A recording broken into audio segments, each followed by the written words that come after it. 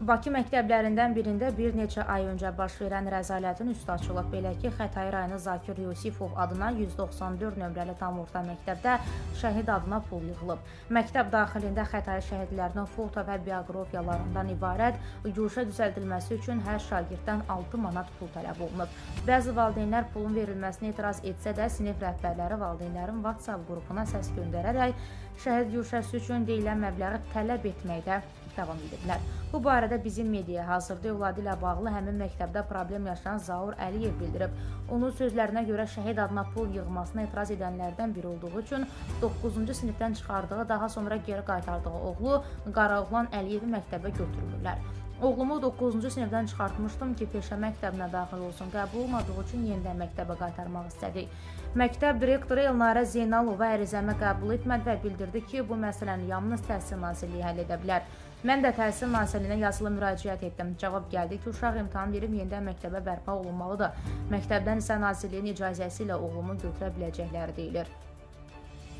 Zaur Əliyevin sözlərinə görə təxminən mart ayında məktəbdə şəhid adına 5 manat pul tələb edilib. Buna etiraz edəndə isə onun pulu geri qaytarılıb. Şikayətçi valideyn hesab edir ki, övladın yenidən məktəbə bərpa edilməməsinin səbəbi məhz şəhid adına yığılan pula etiraz etməsidir. O məsələnin həll olunması ilə bağlı sona dək gedəcəyini qeyd edib, məktəbdə şəhid adına pul yığılması ilə bağlı səs yazısını təqdim edirik.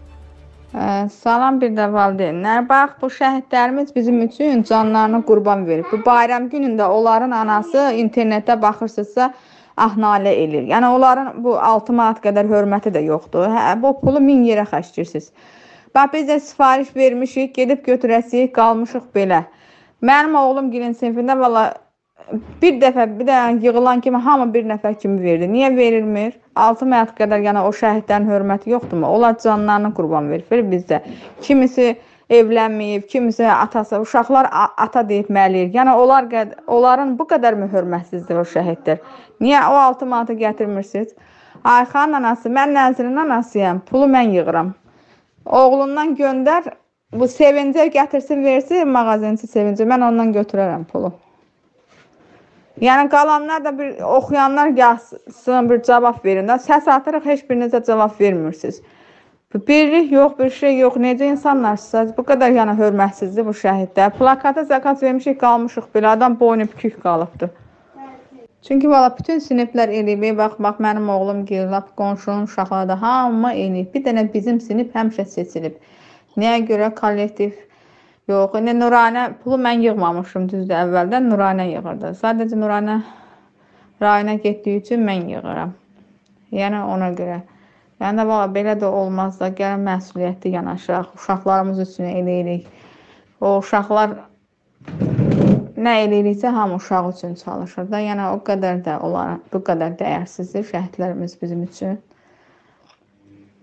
Heç kim sözümüzdən inciməsin. Biz valla rahat evdə oturuq, amma onların anaları televiziyada, YouTube kanal hamını hə, müasir bir dövrdə hər bir yerdə onlar hara gedirsən o şəhid anaların ağlaşmasına səs gəlir. Onlar o qəbri yalayır.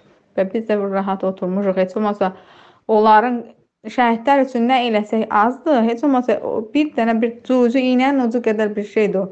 Yəni onların elə eləyək ki, qanı bizə halal olsun.